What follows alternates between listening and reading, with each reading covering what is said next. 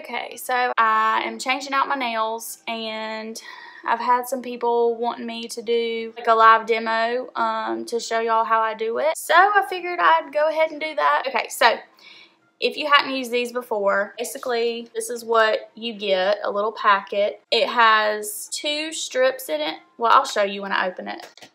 Let me just open it and show y'all.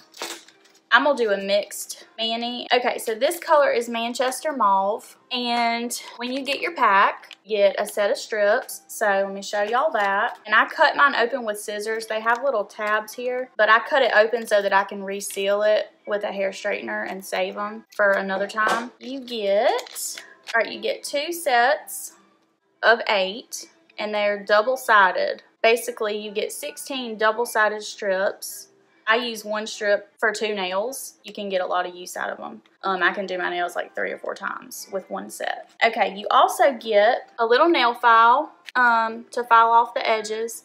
And then you get an alcohol wipe to prep your nails so that there's no like oil or anything on your nails so that it really sticks good to your nails. Okay, so that's what comes in your little set. Now, before I do mine, like after I remove my old ones, and it comes off with fingernail polish remover. After I remove my old ones, I just, um, I like file them and shape them and everything. Then, before I'm ready to do it, I will wash my hands with dish soap, which I know is bad.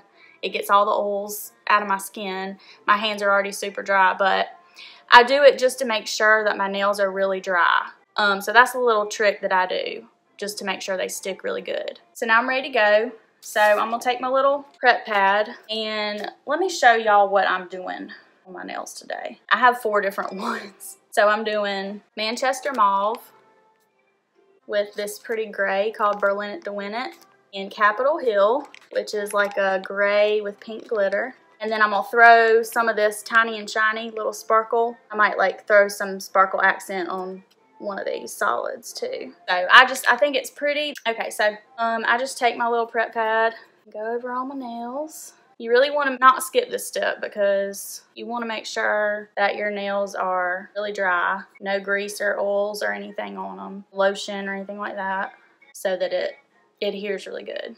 and y'all, I sliced my, I don't know if y'all can see, but I sliced my finger open last night trying to cut some bread and I have like a huge gash. So I didn't know whether or not I should do this video with this like this, but I was ready to change my nails so I just, I'm like, I'll just do it. Whatever. Okay, so after I clean my nails, go ahead and open this file. So we got to decide which nails we want to put on which fingers. I think I want to do this one on my middle finger, so I'll start with that. I kind of jump around when I do it because I don't ever have a clear plan. I kind of just am like eyeballing everything and seeing what I think looks good where. Of course, you'll measure. You'll hold it up and see like which strip fits. So I think, okay, so I'm gonna go with this one. So there's a top layer here. So you pull the top clear piece off. Then we've got a bottom layer. There's like a little, um, you can't see it, but there's a little gray strip here. So we pull that off. Okay, now this is what I do. It's called the anchor trick or the anchor, I think anchor trick. But I put my strip back on this way. Do y'all see that?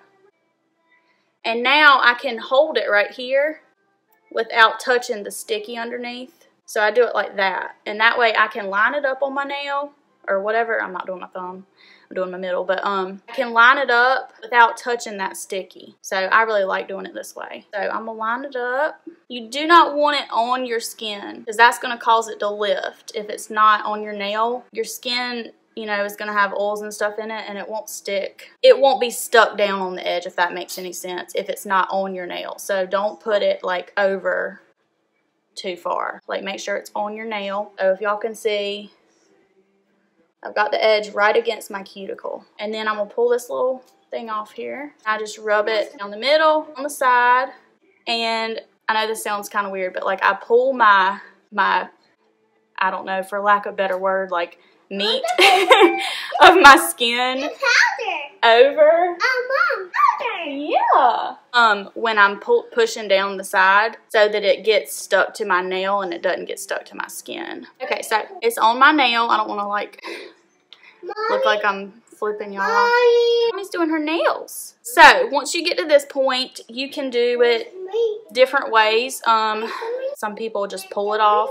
Some people use their fingernail and kind of score it or use one of these or use the file. What I do before I do anything, I cut mine with scissors like this because I want to stick this other one on my other hand. So, and there's a little tab here. So you just pull that tab off. Okay, so now I'm gonna line this up with my other finger. And you could anchor it again, but usually I don't use the anchor the second time. Then push it down. All right, so now I've got them both like this. So now what I do is I fold down my edges. Make sure it's like folded down really good, both sides. Sometimes it just breaks, like this one just broke right here on my edge. So sometimes it just comes right off without filing it. Um, see, that one just came right off. But um, I'll take my little file. It's got a rough side and a, not smooth side, but like it's got one side that's more fine and one side that's rougher. Um, I like to use the more fine side. If you use the rougher side, sometimes it makes the edge a little too rough. So, and I just go down. Make sure also that you're not angling it like this because then you're going to have your nail showing at the edge. You're going to be removing too much. Make sure it's pretty more angled this way than this way. Try to keep it straight, but got a train going in the background now. But that's it. Okay, so that one's on. And I hope y'all can see that one good. But just like that, super easy. I'm to file off what's left on this one. There's not much. There's those two done. Okay, easy as that. I think I'm to do a mauve on my first finger and my pinky. So let's do the pinky next. What? The pinky? You want to do the pinky? Uh-huh. Oh. How long do yours normally stay on? Um, they stay on. I mean, mine lasts pretty much two weeks, if not more. They start growing out. They don't ever like, oh, well, go get it. Don't put the popcorn in your train. They definitely don't ever peel off on me. They don't really chip on me either. If you have a problem, some people have asked me if theirs have cracked or like the edges might start chipping. You want to get the clear ones. It's called clear as day. And that's going to add an extra layer basically to your nails and it will not chip or crack or anything. I mean, I don't have a problem with mine doing that, but if you do, that's something you could try. Yeah, two weeks, mine start growing out and like back here will start catching on my hair and stuff because it's so grown out. So then I'm like, I need to, I can't, I gotta change my nails out. But other than that, I mean, it could probably go longer. I just, I can't handle that when it starts growing out. Okay, so same thing with this one. And with the clear, let me say this, they come with double what a regular pack comes with. So instead of only getting two strip, two sets, it comes with four sets. So, okay, so here's the clear sheet we're peeling off. So again, if you missed the anchor trick, I, when I peel the bottom part off, I turn it sideways and stick it back on like that so that I'm not touching the sticky and it's easier to hold and line up. So I'm gonna do this one on my pinky. So you just line it up, make sure it's not on your skin. It's just on the edge, right where your cuticle starts. Now the solids are a little trickier for some people. They don't hide as much flaws. So like the glitters, if you, you know, have a crease or something, if you didn't smooth it exactly right, it hides it. With the solids, you see everything, but I don't really have too bad of an issue smoothing them down. They stretch, they're kind of stretchy uh, before they set, so I mean, mine seem to do pretty good. No wrinkles or anything. I take my scissors, cut off the edge, and then fold it over. It's got a little like playtime before it really sets. So if you do have a wrinkle, you can kind of pick it up and readjust it real quick. So let me grab this other one. Sometimes when I peel this tab, I have to do it gently because I'll rip the things. That is one thing. They're so like buttery. You have to be kind of careful with them. So I don't normally anchor the second one, but I'll just do it this time to show y'all. Okay, line it up. Okay, we don't want it on the skin. Now this one looks a little big. Over here on the side, you see it's going kind of on my skin. I'll show y'all how I do that too, if it's not exactly the right size. My nails stay in water a lot. Would you suggest me to use them? Yeah, water does not affect, it's um 100% nail polish. Um, a base coat, a color coat, and a top coat. So once it's, um, once you've had it on for like 30 minutes, it's perfectly set and you can use water. I wash my hands probably, I'd say at least 30 times a day, if not more, cleaning up messes and stuff with the kids. my hands in soap and all kinds of stuff. And it's just like regular nail polish, but these last me longer on me than regular nail polish does. So I love them. Um, they last to me kind of like gel polish does, but they come off with fingernail polish remover. So that's why I like them. I don't have to sit here and soak my nails off. Okay, so I'm to fold this over. And then this edge here, I'll fix that in a second. First, I'm going to get the end off. And like I said, you can really just apply pressure and it'll break right there at the end if you want to do it that way. Or you can file it. It's up to you. Okay, so you see I've got this edge here. So I usually just take my fingernail and I will go along that edge with my nail and kind of score it. If you don't have a nail to do it with, like if your nail's too short, um, again, this comes in handy like really well to do that with. I just kind of score it along where my skin is. And then usually I can just use my nail and it kind of just pulls right away. I don't know if y'all can see what I'm doing, but I just use my fingernail and it pulls right away, just like that. So easy, y'all. I love these things. So, we've got those two done so far. Oh, no, I didn't. Just kidding. We got to file this extra off. Make sure you're not filing like this, because then you'll be taking that edge off, and it'll be your nail will be showing on the edge. So that's a mistake I did like the first two times I did them. I was filing like this and I was filing too fast and um, taking the edge off. So just make sure when you file, if you use the file to do it, file straight down or even kind of slightly angled like this. And that edge just peels right off. Okay, so now I've got both of those done on both hands. So I think I want to do the gray on this one. And then I'll put, maybe I'll put some glitter over top of it. So peel off the top layer, anchor the strip. Then I'm to line it up, not on the cuticle, but just barely at the edge. Press down straight, and then one side, other side. And again, I like to try to like pull this finger meat. that sounds weird, but pull it over when I smooth it down so that it sticks to my nail, doesn't get stuck to my skin at all. I made some chicken gnocchi soup last night and then I sliced my finger open. I got some fresh like ciabatta bread to bake in the oven to eat with it and I sliced my finger trying to cut that bread because the bread was kind of like crispy on the outside. And I had one of those big, huge, like, bread knives, and I was like, just right into my finger. There is that one. I've been craving some Olive Garden, and we just, we don't live anywhere near Olive Garden, and I feel like when you get food to go, because we're not going anywhere, it just doesn't taste the same. It's not hot, so let me just try to make it. I think the bread was my favorite part with butter.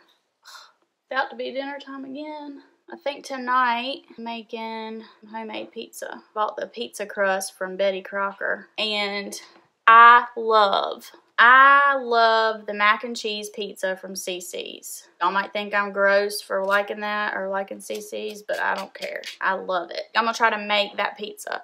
So I got like the noodles and some Velveeta and some Alfredo sauce and some like shredded cheese and I'm to try to make it. And I got that Betty Crocker pizza crust to mix up. So I'm hoping it'll taste good. It might not taste like theirs, but hopefully it'll taste good. So I was to make that and then just a regular pizza, like pepperoni. Okay, on this one, I'm to go ahead and put the Tiny and Shiny on top of this one. It's gray. Hopefully it looks good. And this is one that was already opened, but I had sealed it with a straightener. Yeah, I love, like, that's my favorite, probably my favorite. Totino's used to be my favorite pizza. Um, just a good old, old-fashioned Totino's pizza, the combination one. But for some reason, they changed it to a square and it does not taste the same anymore. And every time I eat it, I get sick that night. I don't know why, what they did different. So I can't eat that anymore. That used to be my favorite pizza. Okay, so this one is a petite. So with petites, they're a teeny bit shorter, I think, than the regular ones. Maybe they are and I just, it's like a mind trick. Let me see. No, see they're a teeny bit shorter. Petites are a little shorter. If you have shorter nails, you can still use petites. Okay, so I need one that's going to fit. Mama, I don't eat CiCi's pizza. I know you don't. That mac and cheese pizza. So I'm to put this tiny and shiny over top of the gray. Ooh, I like this. Ooh, look how pretty, y'all. I love that one. That is so cute. How cute. I am loving. I am loving that over top of that. Oh, that's so cute. Love it glitter just like instantly makes me happy. Lost my train of thought. I'm so excited over this glitter. Uh, oh, the Totinos. Yeah, they make me, I will wake up at like 2 in the morning after I eat one and I will be in the bathroom sick. They changed something when they turned them square instead of a circle. And they don't taste as good either. So you're done. Oh, I'm loving it. I'm loving it so much. So I think I'll do the mauve on my pointer finger. A lot of people save their thumbs last because you kind of use them as a tool. Like if you want to go around the edge or something with them. So that's just a little tip too. There's definitely, definitely a little bit of a learning curve with these. Just, I mean, as the more you try it, the better you'll get at it. I think my like maybe third or fourth time doing it, I was like, I had it down. Okay, so, oh my gosh, they're, they're so cute. Like it's coming together now. So I just gotta file off the extra and my nails are done.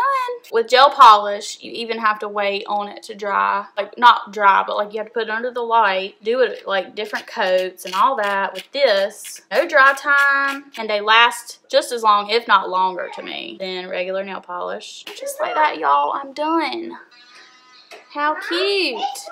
Cute. So there you have it, y'all. How cute. I hope this was kind of a little bit helpful for some of y'all. See my little tricks. Um, so when you get done, last trick I'm to show y'all. So when you're done, you want to save your strips. So what I do, sometimes if it's long, I'll break it in half.